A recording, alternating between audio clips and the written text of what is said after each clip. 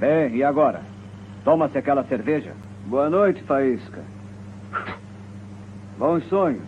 Quero. Não, acho que chega de enforcamentos. Os Dalton. Quero falar com você, Joe. Não, agora. Não queremos vocês em Daisy Town. Eu estou sem troco, mas não importa. Vou fazer algum. Vocês entenderam o que eu disse? Ou deixam a cidade como bons rapazes, ou vão sair daqui de pé juntos. Temos que dar um fim naqueles quatro chacais se nós quisermos salvar Daisy Town. Atacaram a diligência. Roubaram todas as lojas.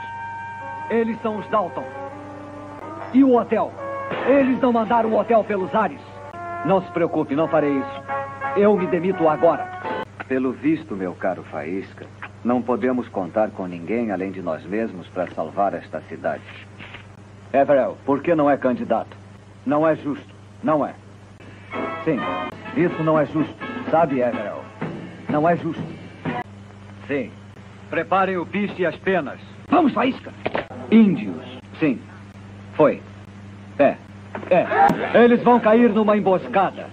Vamos dar a impressão de que estamos abandonando Daisy Town. Mas o fato é que as carroças vão estar cheias de homens armados. Temos que lutar pelas nossas vidas. Somos em menor número, mas contamos com o elemento surpresa. De acordo? Em marcha! Meia